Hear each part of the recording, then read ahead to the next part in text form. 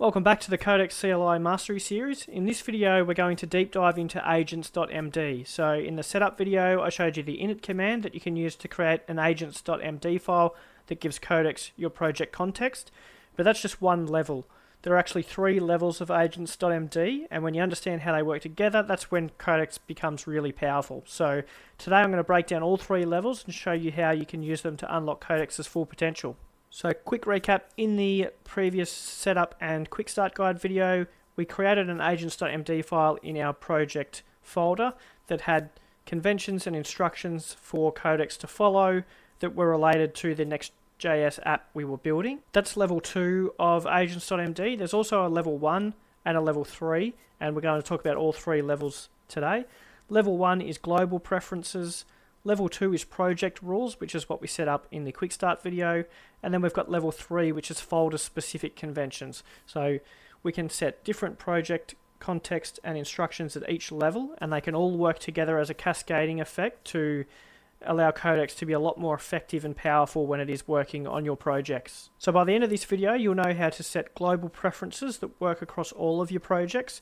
You'll know how to create project specific rules, and you'll know how to add folder specific conventions within your projects. Finally, you'll know how to make them all cascade together perfectly so that you can get the most out of your Codex sessions. This is agents.md mastery. Let's dive in.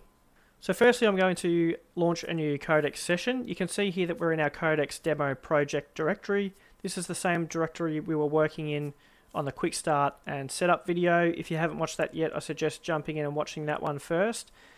So what we're going to do here is launch our new Codex session. In that initial setup video, we created an agents.md file in this project directory at the project level. So what I'm going to, going to do here is just say to Codex, show me the full contents of agents.md. As mentioned, we've already got this file created. If we wanted to create one from scratch, we would use the init command, which you can see on the screen above.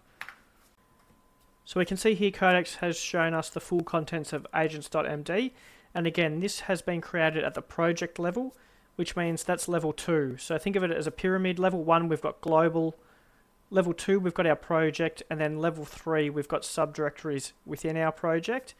This at the moment is level 2. This is our project context. The way the cascading effect of agents.md files works is that Codex reads all three and then merges them. So when you create a file, it reads your global agents.md first, if it exists. It then reads your project agents.md, and it will then read the folders agents.md if you're in a subfolder. So it then applies all of those rules that match when it then executes whatever task you've assigned.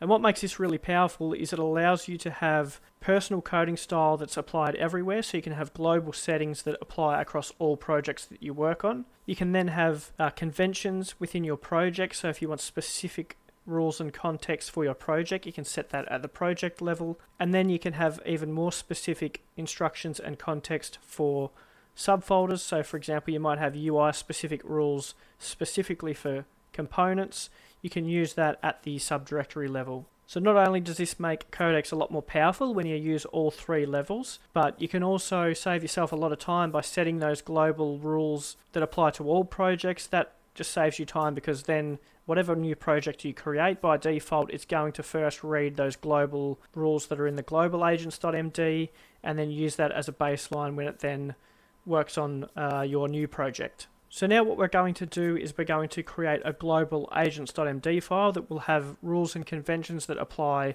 to all projects. First, let's just check to see what approvals setting we're on. You can see we're currently on read only. Let's flick over to auto so that Codex can execute tasks without needing our approval.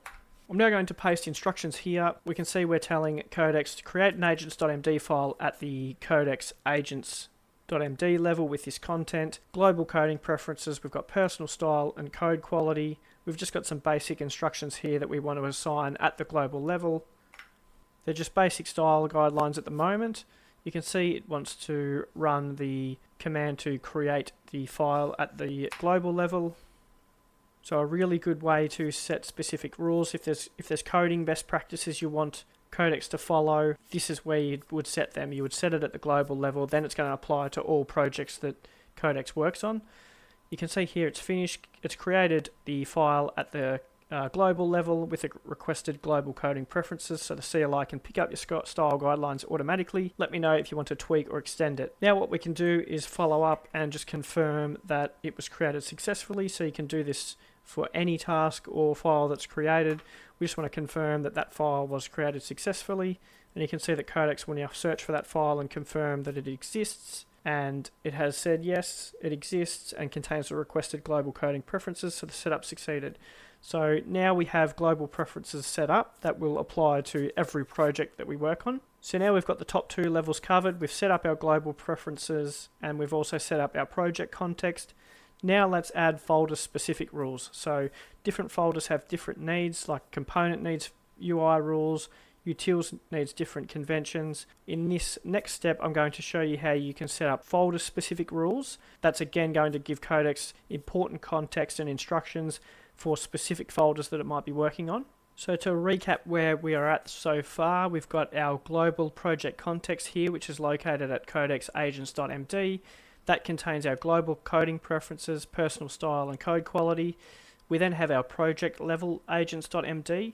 That's located in the root of our Codex demo project folder, and that contains context related to our repo. So we've got project structure and module organization, build, test, and development commands, coding style and naming conventions, file naming conventions, testing guidelines, commit and pull request guidelines, and environment and configuration. Now we want to create the third level of agents.md, which is a subdirectory. So what we're going to do is create a components folder for our reusable UI pieces, things like buttons, cards, and navbars. The reason we're going to separate that is to keep things organized and it's perfect for the agents.md tutorial because components have unique requirements. They have accessibility rules, dark mode support, and responsive design that needs to be applied across all touch points. So using project context at that subdirectory level for the components is really powerful and will allow Codex to implement our UI pieces effectively and correctly every time. So what we're going to do is follow up with another prompt for Codex. We're going to say create a components directory if it doesn't exist, then create an agents.md file inside with this content. The content for the agents.md file is as follows, components directory guidelines. All React components in this folder must include hover and focus states for interactive elements and some more rules, component props naming and styling requirements. So we're setting these specific rules and guidelines that apply to all of the UI components that will be used in our app. So we'll hit enter here and let Codex create this uh, level 3 subdirectory agents.md file.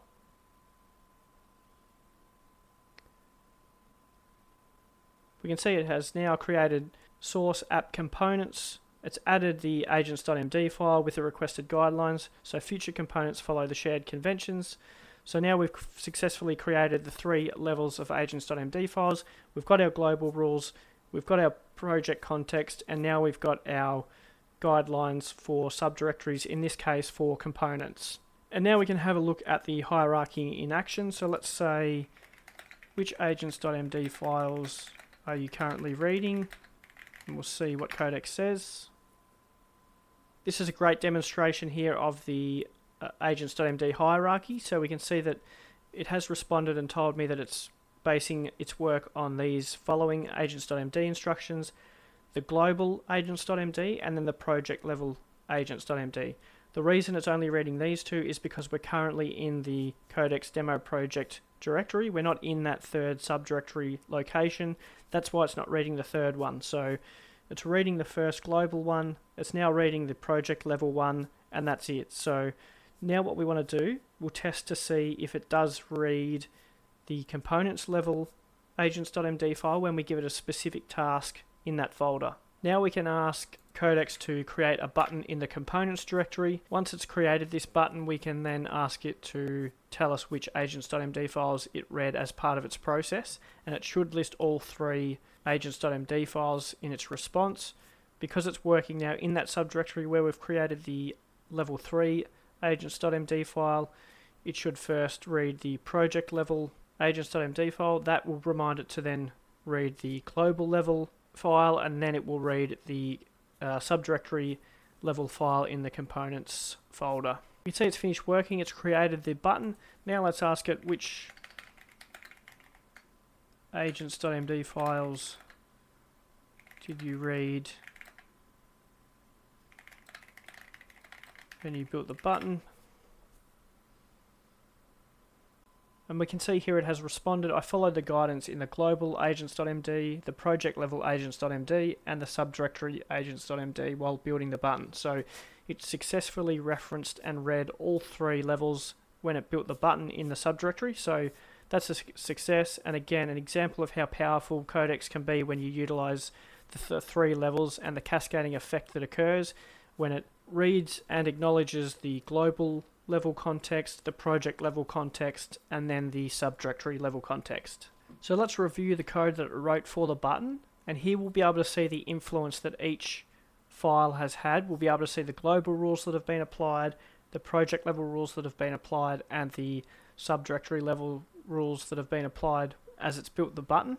Firstly, we can see line 12, it's successfully followed the global rules of creating a functional component. On line 20, we can see a descriptive variable name it has used based on the global rules. We can then see on line 24 here, it says grouping the button with its feedback keeps responsive layouts predictable. It has followed our global rule here to say comment explaining why, not what. So that's a global level rule that has been adhered to in the process of creating that line of code and we can see that it's a total of 50 lines and one of the rules we set in our global context was keep small focused functions under 50 lines. So again, another global rule that has been acknowledged in the build. From the project level agents.md file, we can see from lines 3 to 10, it has created TypeScript with strict types. And we can see on line 12, it's used a named export here, export const loading button instead of default. So another project level rule that has been acknowledged in the build. Finally, we can see the subdirectory level context from agents.md that's been followed. As an example, we wanted boolean props naming, and we can see on line 6 to 7 it has used boolean. So, so we can see that all three agents.md files have been referenced as part of the build process, and again, that just demonstrates how powerful it can be to use these three files and this uh, three level system when you're working on new projects. So to recap, we've got three levels of agents.md files we can use in this advanced workflow. Level one is global agents.md files. This includes your personal coding style. It works across all projects and it is the lowest priority if there are conflicts. We've then got level two, which is your project level agents.md files. This includes tech stack and project conventions. It works only in the project that you've created it in, and it has medium priority for uh, resolving conflicts. We then have level 3, which is your folder level agents.md files. These are specific rules for this code type and works in that subdirectory folder only, and it's the highest priority. If there's any conflicts, the subdirectory folder rules get precedence. So you can see how this can not only save you a lot of time, but also enable Codex to be a lot more effective when it has clear rules and guidelines that it can follow when it's working on your projects. So I hope you enjoyed that deep dive into agents.md. Make sure you subscribe to see more. I'm going to be doing a few more mastery videos for Codex CLI on MCP integration, custom slash commands and more. So subscribe if you want to see those and thanks for watching.